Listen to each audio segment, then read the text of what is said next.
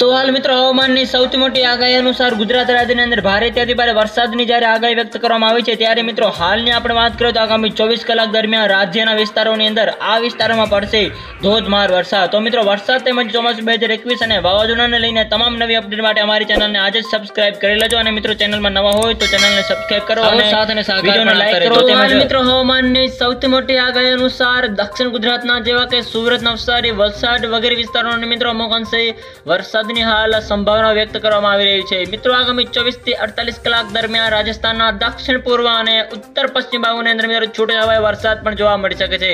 આ ઉપરાંત મિત્રો, હાલ અરબી સમુદ્ર સ્થિત સાયક્લોનિક સર્ક્યુલેશન સિસ્ટમ જોવા મળી રહ્યું છે, જેની અસરના ભાગરૂપે મિત્રો દક્ષિણ ગુજરાત અને સૌરાષ્ટ્રના કોઈ કોઈક વિસ્તારોની અંદર વરસાદની હાલ સંભાવનાઓ વ્યક્ત કરવામાં આવી રહી છે. પરંતુ મિત્રો, જેની સમગ્ર નવી અપડેટ જેમ આવશે, એમાં અમે તમને જણાવતા રહીશું. આ ઉપરાંત મિત્રો, છેલ્લા ચોવીસ કલાક દરમિયાન કેરળ, સિક્કિમ, ઉપ હિમાલય, પશ્ચિમ બંગાળ અને આસામ તેમજ અરુણાચલ પ્રદેશ અને દક્ષિણ પૂર્વ રાજસ્થાન તેમજ દક્ષિણ પશ્ચિમ મધ્યપ્રદેશ, તટીય કર્ણાટક અને દક્ષિણ તમિલનાડુના કોઈ કોઈક વિસ્તારોની અંદર મિત્રો વરસાદની સંભાવનાઓ વ્યક્ત કરવામાં આવી રહી છે. તો અમુક અંશે ભારે વરસાદ પણ જોવા મળી શકે છે. એવું અમારું અનુમાન લગાવવામાં આવી રહ્યું છે. તો હાલ મિત્રો ગુલાબ વાવાઝોડું અને સાહિન વાવાઝોડાની અસર બાદ હવે વધુ એક વાવાઝોડું, જવાદ વાવાઝોડું મંડરાઈ રહ્યું છે.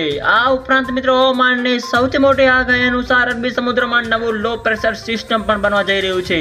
તે મિત્રો હાલ સાયક્લોનિક સર્ક્યુલેશન સિસ્ટમની અસરના ભાગરૂપે અરબી સમુદ્રની અંદર બનેલ સાયક્લોનિક સર્ક્યુલેશન સિસ્ટમ, જે મિત્રો દક્ષિણ ગુજરાત અને સૌરાષ્ટ્રના કોઈ કોઈ વિસ્તારોની અંદર વરસાદ લાવી શકે છે એવું હાલ અમારું અનુમાન લગાવવામાં આવી રહ્યું છે. મિત્રો તેની સમગ્ર નવી અપડેટ જેમ આવશે એમાં અમે તમને જણાવતા રહીશું. તો મિત્રો, વરસાદ તેમજ વાવાઝોડાને લગતી પડે પડની નવી અપડેટ માટે અમારી ચેનલને આજે જ સબસ્ક્રાઇબ કરી લેજો અને મિત્રો આવો સાથ અને સહકાર આપતા રહેજો. તો મિત્રો, આપ સૌનો ખૂબ ખૂબ આભાર.